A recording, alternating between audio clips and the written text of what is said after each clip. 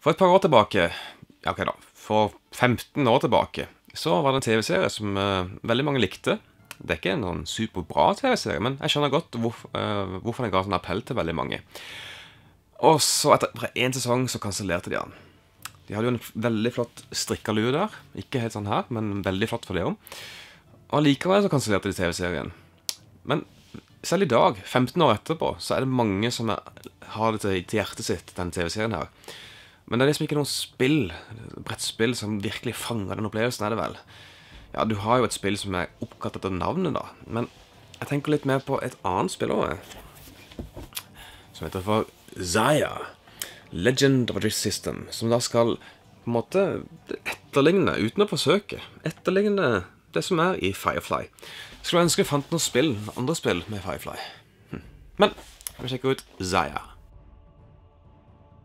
Hello.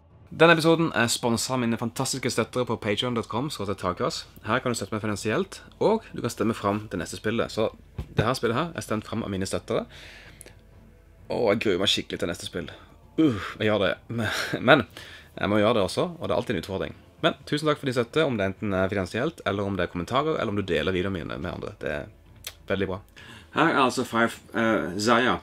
Uh, som du ser ut med tre, tre spiller og oppsettet for det. Og du ser at det er veldig mye som skjer på bordet. Du får ikke med denne matta her, dessverre. Men jeg synes det er veld, den gjør seg veldig godt til det spillet her, og det sitter veldig stødig med brikkene. noe. Det du ikke får med, er, er matta, som sagt. Men det du får med, er veldig mange kule komponenter. Du får ferdigmalte skip som er ferdig monterte på disse søylene. Du får med metallmynter som bare skikkelig kule å se på og deilig å ta på. Du får masse kort med masse oppdrag på. Du får masse brikker med rom å utforske på, og de brikkene er skikkelig bra kutta ut, så du kan ikke se forskjell på dem. Du får med masse uh, eventkort, du får masse famepointkort du får med Tetris-brikker her, og, masse kuber. Ok, Jeg kan godta kubene denne gangen, for de har veldig sånn stilige farger på seg, men det er sånn kuber. Det kunne jo vært mye kulere. Eh, fantastisk plasma som du drypte ned. Ok, jeg ser problemet med det. Men hva handler Zaya A Legend of a Gist System om? Så vi spiller i verdensrommet, sånn som dette her. Og dette er tilfeldig plassert ut brikker. Eh, for å vinne så handler det om å ha sånn ærespoeng, eller berømmelsespoeng, om du kaller det. Eh, før spillet begynner, så velger vi hvor mange poeng vi skal begynne på. Sånn uh, Innledningsvis tenker de fem, men da spiller du veldig fort ferdig. 10 og 15 så er det en passe lengde. 20 er litt for lenge, kanskje. Men det bestemmer dere fra begynnelsen av. Den som kommer først til det destinerte målet, da, sånn her, den vinner spillet. Og hvordan du vinner, er veldig variert. Og derfor har alle fått et sånt kort her. Og her står det da 'How to win'. Her står det mange måter å skaffe disse berømmelsespoengene på. Og det er faktisk veldig genuint eh, interessant måte å gjøre det på også. Og på baksiden så står det hvordan du gjør det. Men ok, vi har da verdensrommet her foran oss. Og du ser, vi kan da bevege oss mellom disse heksene her, eller sekskante områdene. Men det er masse forskjellige områder også. Sånn lilla områder som har effekter. Gule områder med effekter. Og hva skjer når det går på utsiden her? Det er flere måter å vinne på i spillet her, altså. Du kan f.eks. Uh, bli pirat og stjele fra de andre spillerne. Eller stjele fra den uh, ikke-spillerstyrte uh, fraktskipet her. Du kan bli politi og, jage de som er lovlyd, lovløse. eller du kan være skikkelig lovlydig sjøl og bare handle mellom de forskjellige plassene. Men du kan også handle med piratene. Eller du kan angripe og drepe de andre spillerne for å få poeng bare for moro skyld. Altså, det er mange måter å skaffe poeng på i spillet her, og det er helt opp til deg åssen du gjør det. men det er også opp til de andre spillerne på hva de kommer til å gjøre for å motreagere på det du gjør. Men ok, her er mitt skip, som heter for Easy Tiger. Og det er det skipet her. Så det står veldig fint på brettet. Og Easy Tiger har mange forskjellige ting på brettet sitt. Hver spiller får hvert sitt skip, som da har masse sånn firkanter på seg, med plass for eh, utstyr eller varer. Og dette er da utstyr du kan bruke, en motor og en, eh, en skjold. De kan du legge akkurat som du vil, så lenge det passer innenfor rammene her. I tillegg så har du fire tønner her som kan brukes til aktivering, og her har du energi. Dette her er sånn impulsmotor som du kan flippe og flytte deg tre steg med. Men på din tur så kan du velge å bruke så mye ting du vil, så lenge du har nok tønner til å gjøre det. Si du har lyst å bevege deg tre hakk, så kan du gjøre sånn. Snu den, og da beveger du tre hakk. Si du har lyst også å bevege deg enda mer. Vel, da ser du motoren her. Den har plass til tre tønner. Så du flytter en tønne opp til motoren. Og så triller du en terning. Og da ser du det er en sekserterning. Sånn. Og flytter tre felt. Vent nå litt. Der her er jo sånn La meg bare stjele lydopptak ifra Flip the Table-folkene. Det er roll and move-spill. Surprise! Like Ok, da var det unnagjort. Men ja, du flytter terningen, triller terningen og flytter deg. Du kan trille en ener, ene runden, og så plutselig du en sekser. Så det er helt opp til terningen av og til. Til og med når du får en sterkere motor, en D12, så er det en ener der også. Så alt går fra én til maks. Men du kan selvfølgelig gjøre det flere ganger. Hvis noen skyter på deg, så kan du reagere fordi du har armerte tønner her, med også bruke skjold for å forsvare deg med en terning der også. Men turen min er nå ferdig. Jeg har ikke mer å gjøre her. Jeg, står ikke på en planet, jeg kan ikke handle. Da kan jeg begynne å armere disse her. Så de går først ned hit, på uarmert. Så kan jeg betale 1, 2, 3, 4 for å flytte opp 1, 2, 3, 4 sånne. Hvis jeg havner på null, så er jeg da stranda. Og da kan det komme andre spillere og hjelpe meg og gi meg energi. Men da får de også poeng for å hjelpe meg. Så det er kanskje ikke så gunstig, men jeg har ikke lov til å si nei. Ellers så har det vært skip her, et kort med en spesiell egenskap på, og de er også helt forskjellige. Så det er unik design, unik energi, unik impuls og unik egenskap. Og så er det unik design, eh, ja, eh, utseende. Dette er jo da penger. Hvis penger ligger her, så har jeg en dusør på hodet mitt, og da er jeg lovløs. Og da kan de andre spillerne skyte meg ned uten å tenke på at eh, de gjør noe ulovlig i spillet. På din tur så er det på en måte to handlinger du kan velge mellom. To typer handlinger. Du har en liten handling og en stor handling. En liten handling har ingen påvirkning på din bevegelse, men en stor handling, da må du stoppe skipet ditt, og du må avbryte bevegelse, og du gjør den store handlingen. Eksempel på det er en liten handling, det er å fly innom en sånn, eh, sånn eh, utostein her, og ta et nytt oppdrag. Det koster deg ikke noe, det er bare å snakke med de på stasjonen, og så kjører du videre.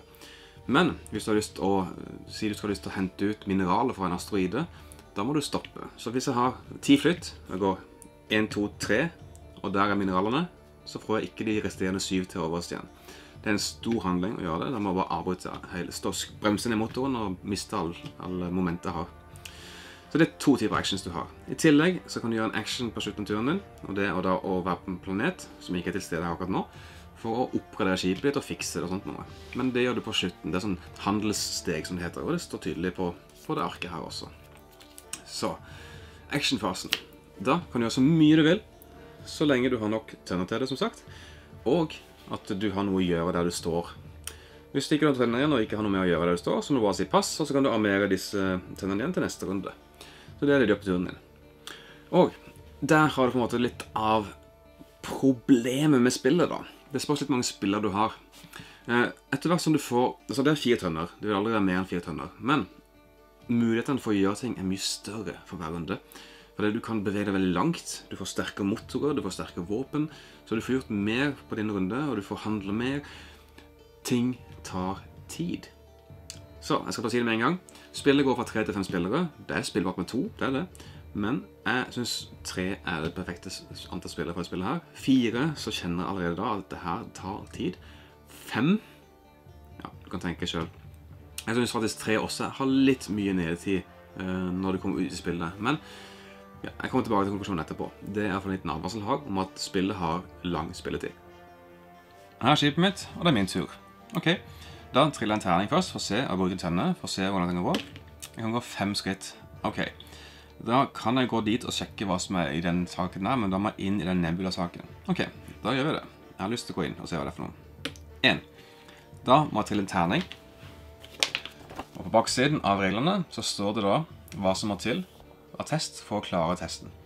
Så jeg må da trille en D20-terning, altså det er en 20-side terning. Og jeg må få 11 til 20. Hvis jeg får mindre enn 11, hvis jeg får 1 til 10, så mister jeg da 1 til 10 energi på skipet mitt, og det er ikke greit. Så 12. Da klarte jeg det, ingenting skjedde, og nå er jeg trygt innenfor nebulaen. Og det er ingenting som kan hindre meg å gå videre nå i neste rute i nebulaen. Nå har jeg på en måte klart å komme inn igjen.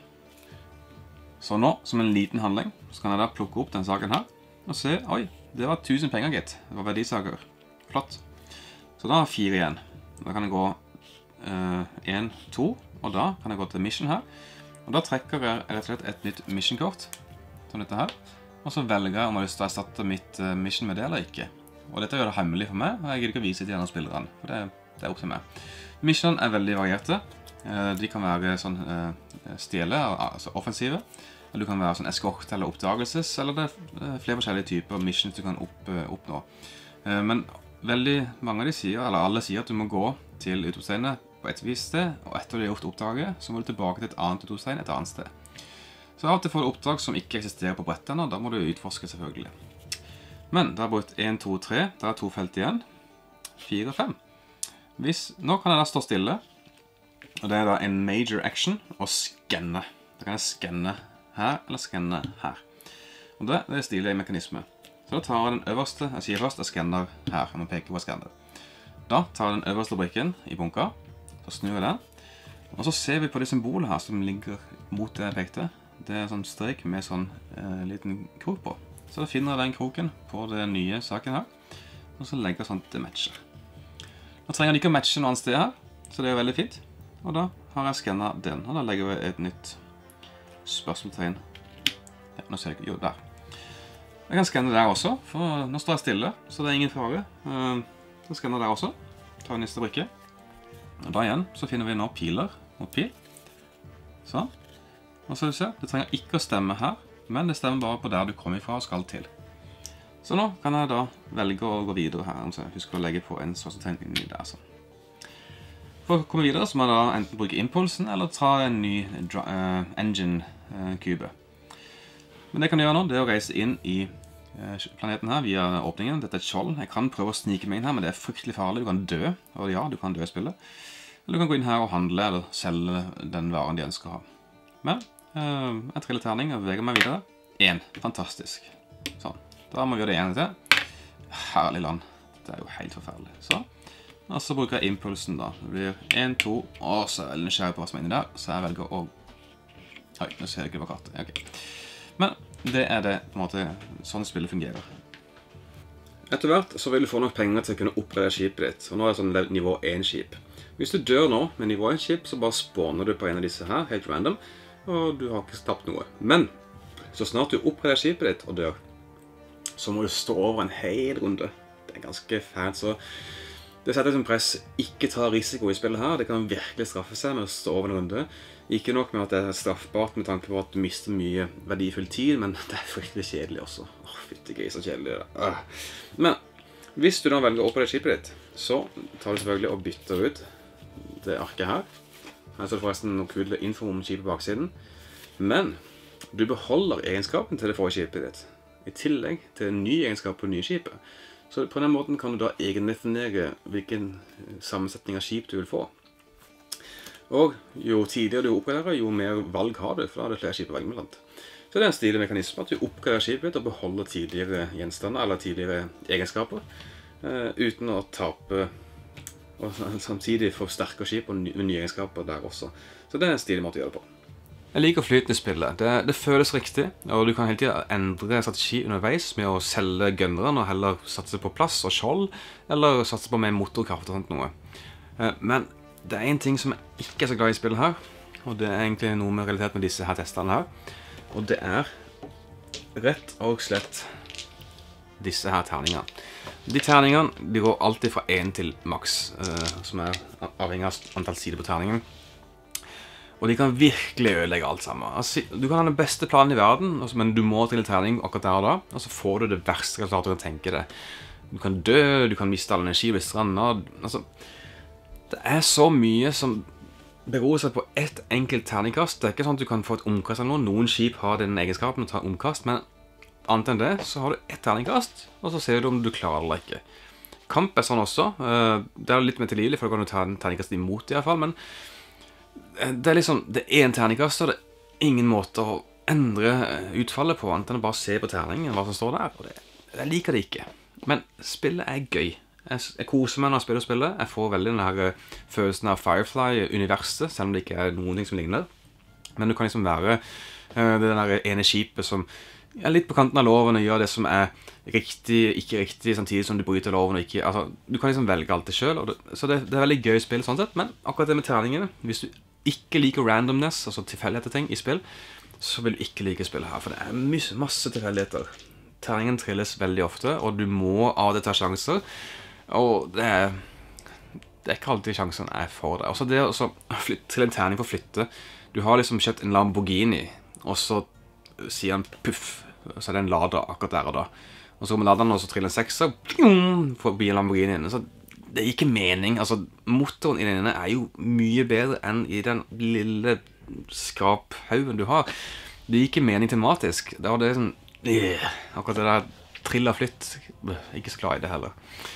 Så ja, men som sagt, jeg liker å spille, jeg gjør det. Men ikke med mer enn tre spillere heller. Eh, men det er veldig flott å se på, og det, det gir fin flyt i seg. Det er ikke vanskelig å forklare heller. For det, det er bare litt sånn masse detaljer her og der. Men det meste står faktisk på det kortet her, hvordan du vinner, og så kan du tenke deg fram til eh, hvordan handlingene henger sammen. Og det er ganske logisk også. Men jeg syns Zaya Legend of the er et gøy, spill. Jeg har backa den utvidelsen som kommer, for det, jeg koser meg med spillet. Det gjør det, Men jeg liker også litt randomness. Ikke, kanskje ikke så mye. Så jeg må sjekke om det er en måte å kunne endre litt på utfallet på terningen. Redusere oddsen for at det går så galt på ett eneste kast. Men, men. Smaker bare hag, sikkert. Ok, Tusen takk for at du så på denne episoden av Taker. Jeg håper å se den i neste episode, og ja, vi får se hva som kommer da. Kos deg med.